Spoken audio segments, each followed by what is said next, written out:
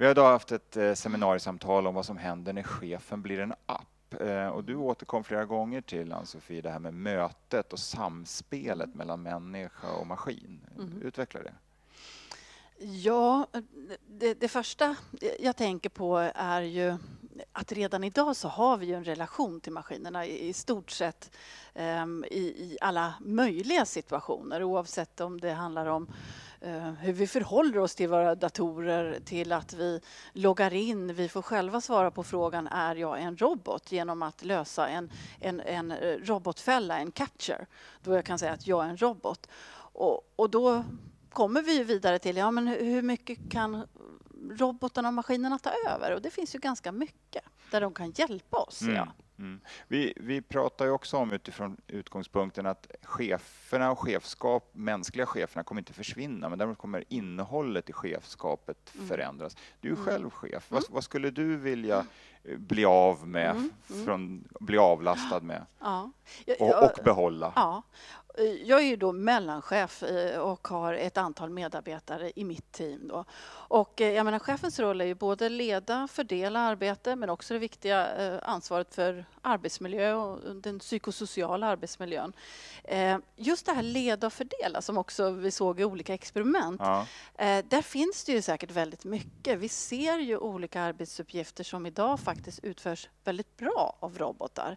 Gå igenom textmassor, man kanske ska hitta eh, olika fel. Det, det, sånt finns ju redan idag i stavningsprogram faktiskt och liknande. Så det, det, vi har ju mycket idag. Men om man då tänker sig mer avancerade former som både uppföljning av arbete, eh, kanske också låt säga det kan vara genomgång av olika texter, research. Det finns ju ganska mycket som skulle kunna underlätta eh, mm. också för chefen.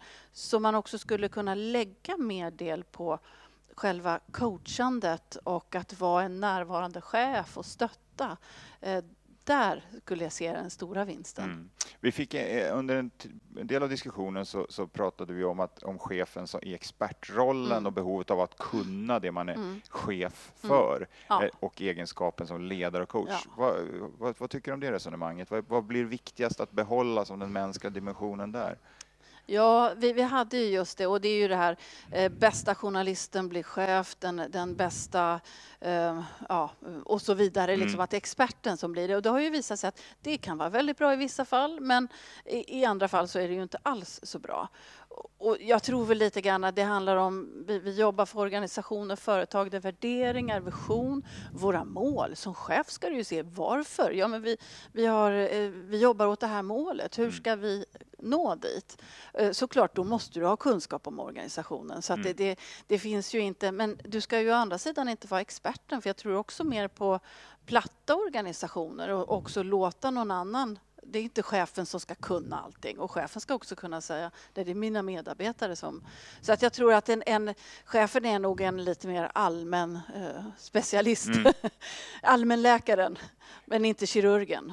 Men du har ju kunskap om verksamheten. Ja, absolut. Och TCO, TCO-förbundens medlemmar är ju väldigt utsatta eller ska jag säga, påverkade mm. nu av en snabb mm. digitalisering. För 30 mm. år sedan så var det en del TCO-förbund som ville förbjuda datorerna. Mm. mm. Eh, hur skulle du uppleva att, eh, vad, har du för, vad, har, vad har vi för bild av hur tjänstemännen upplever digitaliseringen idag? Hot mm. eller möjlighet eller både och?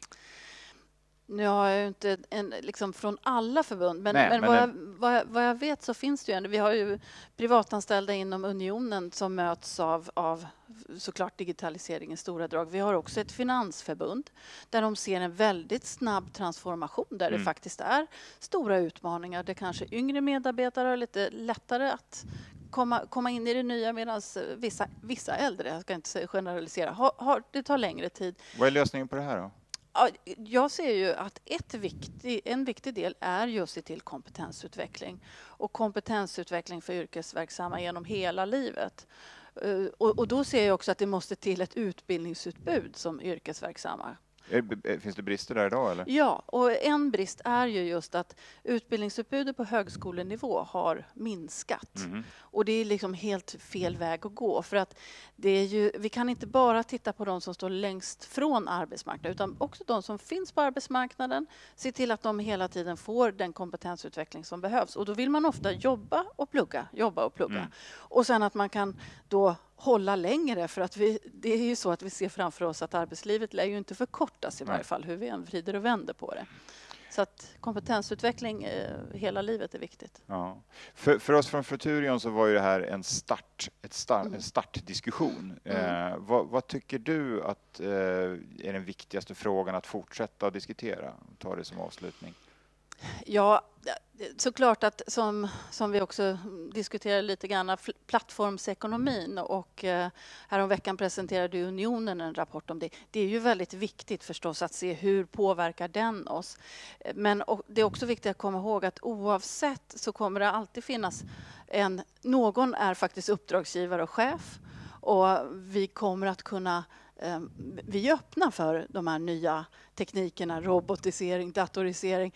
Men det gäller att se till att vi gör det med schyssta, schyssta villkor och att vi vill kunna fortsätta organisera eh, alla uppgifter, arbete mm. som utförs. Så att mm. den, den är viktig som en, ett led i. Mm. Sen också vårt förhållande till maskinerna tycker jag själv också är väldigt eh, personligen spännande att se. Hur förhåller vi oss till mm. maskinerna? Och då blir nästa fråga också så, som en i panelen eh, sa, ja men hur, hur är, är också då, ska man börja mäta små, hur väl man arbetar med maskinen? Det, mm. det finns många frågor att ställa på flera olika former, men, mm. men eh, vi ser fram emot det. Bra. Det är spännande att vara med. Ja, tack.